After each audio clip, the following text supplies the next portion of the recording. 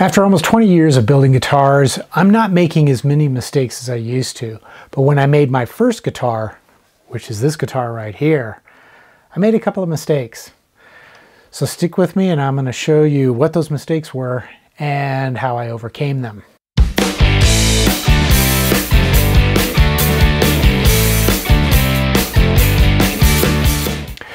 Hey guys, it's Chris at Highline Guitars. Welcome back to another one of my guitar building videos. Uh, the last video that I posted, I had shown very briefly this guitar that I built about 20 years ago. This is actually the very first guitar I ever made, and I made it for my son. It was kind of one of those father-son challenge projects. At any rate, after I posted that video, a viewer commented and asked if I could do a video where I would talk about some of the mistakes that I made building this first guitar. Now, as I said, it was 20 years ago, so I'll do my best to try to remember everything that went wrong and how I dealt with those issues. Okay, well, first things first, the neck was actually one of those pre-made Stratocaster style paddle headstock necks that I purchased off of eBay. It was probably shipped from China. And if I remember correctly, I paid $35 free shipping. And surprisingly enough, the neck was in pretty good shape. It it uh, it was well made neck, and the only thing that I've noticed is I do have some fret sprout, and if I remember correctly, it's always been the case. This isn't something that happened over time because of the shrinkage of the wood. Uh, the only uh, real complaint that I had with it is it came, the nut it came with is plastic. So the first thing I would do is, or should have done, was replace the nut with a bone nut and cut the slots myself. However, being that this was my first guitar build, I didn't have the tools to cut the slots in bone to make my own nut. So that's something, a skill that I developed later because I didn't really want to equip any of the guitars that I built with plastic nuts. Otherwise, the neck worked pretty well. The body is made from alder, three pieces that I glued together. And after 20 years, I can not only see, but I can feel the seams. So I prefer these days, if I'm going to make a neck or make a body, uh, I'll make it either out of two pieces or I'll try to source a wide enough piece so that I can just keep it one piece of wood instead of multiple pieces. Now, when I cut this body out, instead of making a template and then cutting it out with a bandsaw and then routing it with a top bearing pattern bit, what I did was I freehand sketched out the shape of the body that I wanted using the neck to kind of form the, the heel area and the neck pocket area. And then I cut it out using just a handheld power jigsaw. Now the problem with doing that is the blade on a jigsaw is only supported at one end and it might have a little bit of a structure that keeps or attempts to keep the blade straight but the other end of the blade where it cuts through the wood is not supported. So as you're cutting these kind of contour shapes the blade will bend and when it bends, you're either cutting way outside of the shape that you're trying to achieve or you're cutting inside. And that happened in both ways with this body. So after I cut it out, I noticed that the sides, rather than being straight up and down and perpendicular to the top, they were at a, an angle, either uh, angling in or angling out. So I had to go back in and do a lot of sanding and I think if, if I remember correctly, I used files to try to get the sides straight, but it was an enormous task. So what I ended up doing on future guitar builds is I got smart and I made a template of the body. Uh, and I made that out of half inch thick MDF board. So what I would do is I would, I still had to use a jigsaw to cut the body shape out because I didn't have a bandsaw yet. I just made sure that I cut at least a half an inch outside of the line or the template. And then I took a handheld router with a top bearing pattern bit and I routed away that excess wood until the bearing came in contact with the template. And I went all the way around the perimeter and that resulted in giving me sides that were perfectly straight up and down. And, you know, that way it's so much faster and more accurate uh, method of making a guitar body.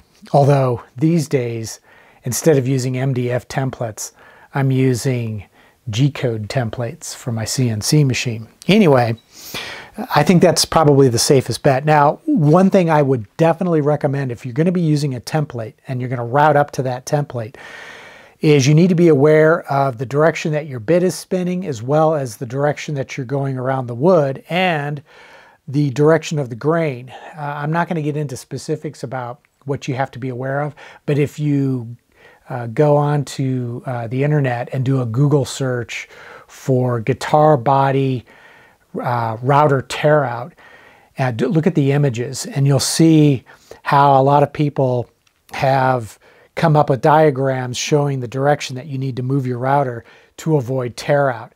And that's especially true with certain types of wood like alder and poplar. If you're routing in the wrong direction, you can tear out great big chunks of wood and ruin the body. So there's something to be aware of. Now the next issue that I ran into was routing the depth of my neck pocket. And I really wasn't sure what depth to route it to. So I figured since I'm using a Fender Stratocaster style guitar neck, then I would have to route that pocket to the same depth as a Stratocaster. So I simply measured the depth of one of my own Stratocasters, including the thickness of the pickguard, and that's how deep I made my pocket.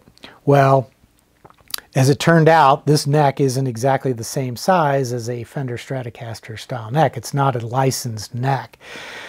So when I inserted the neck, um, it ended up sitting too deep into the body. And I didn't realize that until after I strung up the guitar and I couldn't get the action where I wanted it to be. So what I ended up having to do was to shim the neck. I also noticed at the same time when I strung up the guitar that the strings were not centered over the fretboard. They were off slightly, and that's because I didn't align the neck with the center line of the body or more accurately, the position of my pickups or the bridge.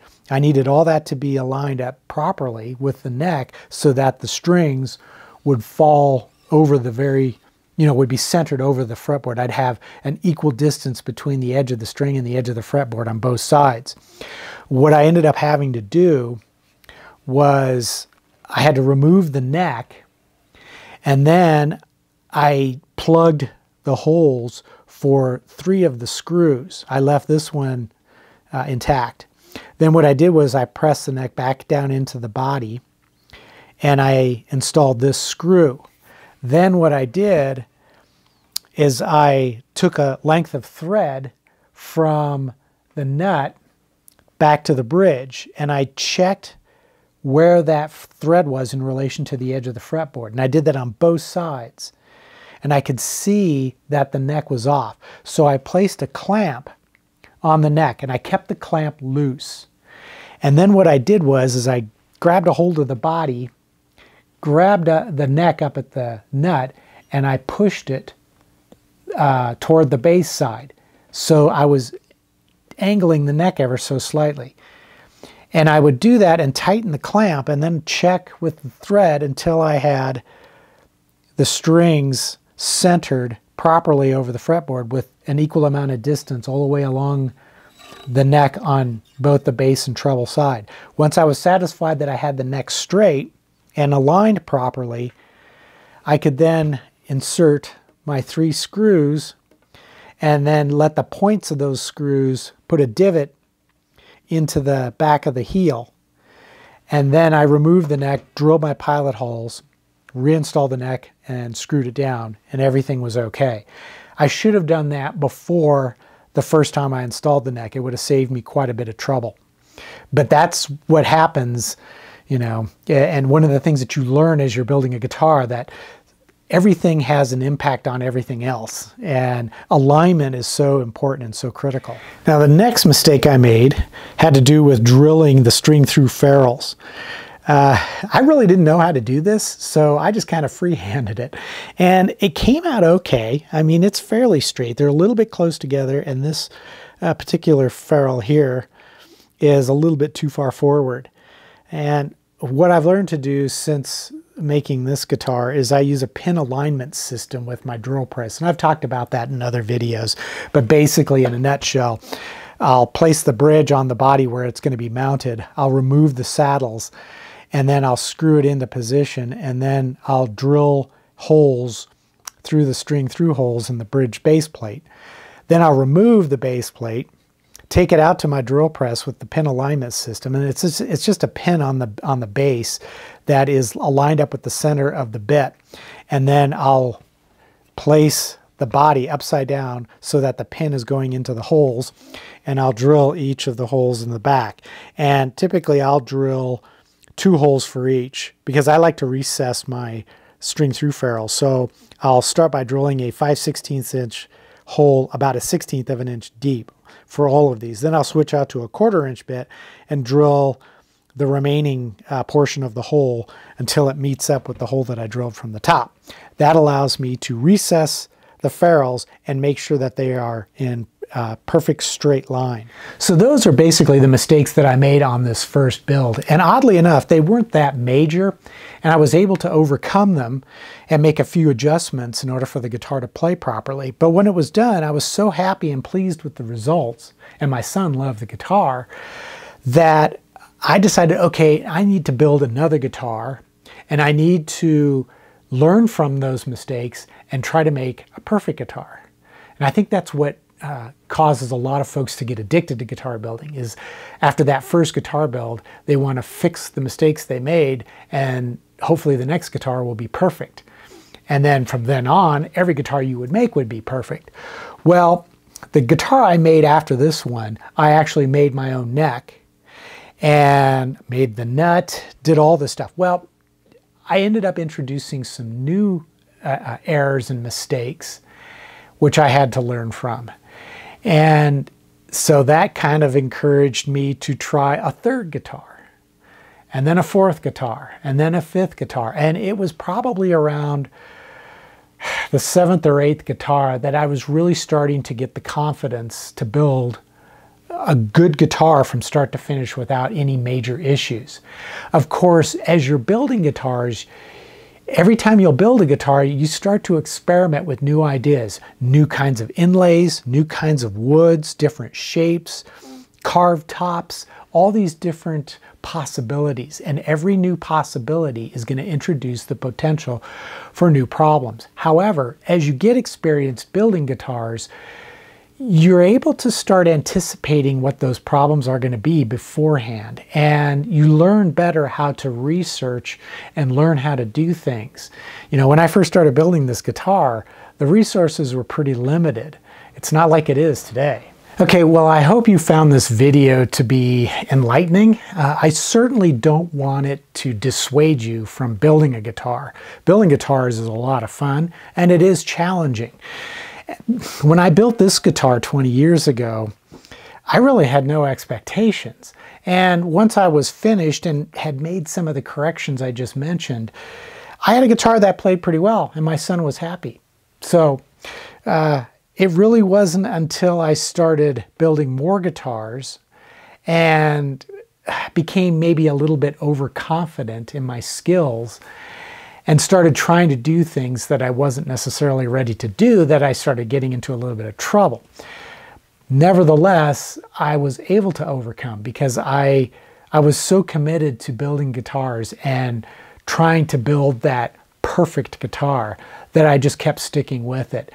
And that's something I definitely would recommend to anybody who is just maybe toying with the idea of building their own guitar. At any rate, I hope you liked the video, and as always, uh, click the like button, comment, subscribe, all that good stuff. You know, if you want to show this channel support, as I always say, head over to eguitarplans.com and purchase a plan for a guitar that you can build yourself like I did here. And or you can buy a plan for one of the different kinds of tools that I've made over the years to help solve some of the problems with building guitars, including a CNC machine. And, you know, even if you don't make the plan, just know that your purchase is helping to support the YouTube channel.